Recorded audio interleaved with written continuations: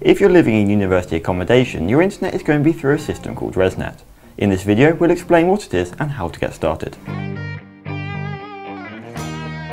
ResNet is the name of the internet connection provided by the university in your room. There are two levels of ResNet, there's ResNet Gold and ResNet Platinum. ResNet Gold is included with your room cost and provides you with one wired connection generally for a laptop. ResNet Platinum is an upgrade from Gold and will cost you £10, but gives you both wired and wireless connections, so it can support multiple devices, such as your laptop, phone and tablet. For more information on the differences between these systems, please visit the website below. To connect to ResNet Gold, simply use an Ethernet cable to connect between the socket on the wall and your laptop. And then launch a web browser. You'll be asked to confirm that you will agree to the university's terms and conditions and to enter your university username and password. But then you'll be connected to the internet.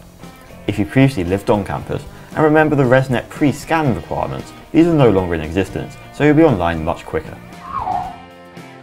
To upgrade to ResNet Platinum from ResNet Gold, you simply need to visit the university store and purchase the ResNet Wi-Fi access kit for £10.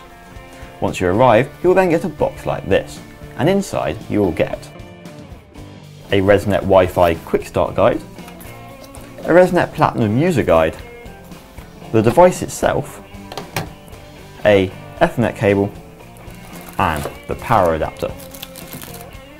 On the top of the device itself, you'll have a sticker which tells you the network name and the network key.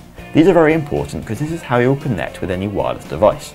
On the back, the yellow ports are where you'll connect any wired devices, and the blue port is what will now connect to the socket in your room. There is also a power connection and a reset button. It's very important that you do not press the reset button because this will stop your device working on the ResNet system. So let's plug it all together and get connected.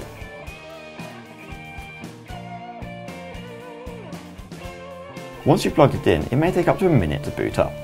If you want to connect any wired devices, you simply connect from the yellow ports on the back to your device, very much like the ResNet Gold system.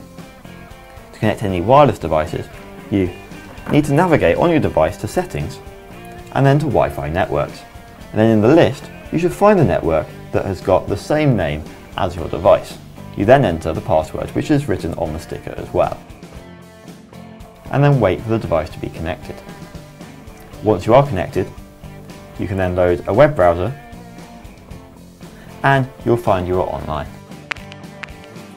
If you lived on campus last year and bought the wireless access kit available then, it will still work as ResNet Platinum now, just you will not be able to support any wired devices, only wireless ones. If you have any trouble connecting to ResNet Gold or ResNet Platinum, just visit your court reception and they'll be able to book a ResNet advisor who will come to your room and sort out your issue.